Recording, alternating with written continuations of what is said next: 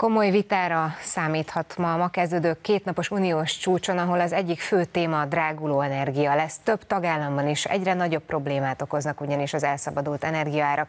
Magyarország a v közösen már korábban jelezte, hogy elutasítja, hogy Brüsszel az elhibázott zöld politikájának az árát az emberekkel fizettessék meg. Szakértők ugyanakkor nem számítanak jelentős eredményre a csúcs találkozón. Egyebek mellett a migrációról és a Nyugat-Európában elszabadult energiaárakról is szó lesz a ma kezdődő kétnapos brüsszeli csúcs találkozón. Egy friss felmérés szerint az unió felnőtt lakosságának négyötöde aggódik a növekvő energiaárak miatt.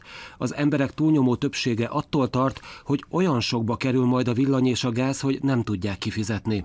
A találkozón Orbán Viktor is részt vesz, a miniszterelnök mert tegnap elutazott Brüsszelbe.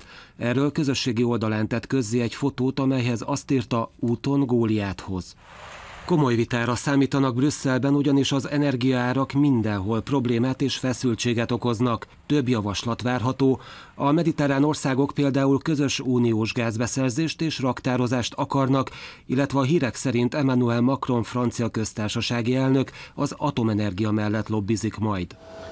De a V4-es országok közös és határozott kiállása is várható az ügyben. Magyarország a többi visegrádi országgal közösen már korábban jelezte, hogy elutasítja azt, hogy az elhibázott brüsszeli zöld politika árát az emberekkel fizettessék meg. Lesz egy V4 javaslat is, amiről egyelőre annyit tudunk, hogy a visegrádiak elfogadhatatlannak tartják azt a bizottsági klímajavaslatot, hogy a kibocsátás kereskedelmi rendszer terjesszék ki a lakóépületekre és a közúti közlekedésre, és tanul hatástanulmányokat is követelnek tagállamokkal lebontva, mert hogy egyelőre ilyen nem létezik. A szennyezőket kell a fizetésre kényszeríteni. A magyar álláspont erős felhatalmazással bír, ugyanis a nemzeti konzultációban a válaszadók 98%-a mondta azt, hogy ne a lakosság fizessen mások helyett.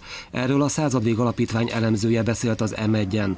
Kiszeli Zoltán aláhúzta, ezzel szemben a brüsszeli bürokraták tartósan magas energiaárat szeretnének, mert így akarják rákényszeríteni az embereket például az elektromos autók megvásárlására. Nem biztos, hogy ilyen erőltetett tempóban kellene Európai, az Európai Unión belül a CO2 kibocsátást csökkenteni, csökkenteni. Ez ideológiai alapon történik most Brüsszelben, és nem piaci alapon. Amíg Magyarországon egyebek mellett a rezsicsökkentésnek köszönhetően érdemben nem változtak az energiaárak, addig az euróvezetben más a helyzet.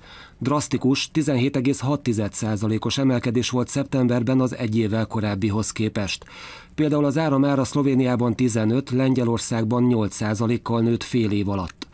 A földgáz pedig Dániában összesen 19%-kal drágult. Ezt a válságot sem megoldani akarja, hanem fölhasználni a... Az energiárak elszabadulására Brüsszel nem kínál érdemi megoldást, erről az Alapjogokért Központ projektvezetője beszélt.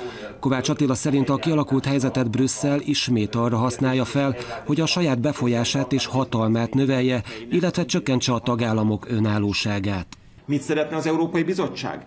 Hozzunk létre egy egységes energetikai térséget gyakorlatilag az Európai Unióban. Lehet, hogy ez nem 27 tagállamra, hanem regionális országcsoportokra terjednek ki, ahol majd Brüsszel mondja meg, hogy azon az energetikai piacon milyen döntések szülessenek, és ne a tagállamok. Kovács Attila hangsúlyozta, a Brüsszel által kínált megoldás köszönő viszonyban sincs a tagállami elképzelésekkel, ezért nem meglepő, hogy többen nem támogatják. Arról is szólt, mivel a csúcs találkozón több téma is van, nem számítanak arra, hogy az energetikai kérdésben döntés szülessen.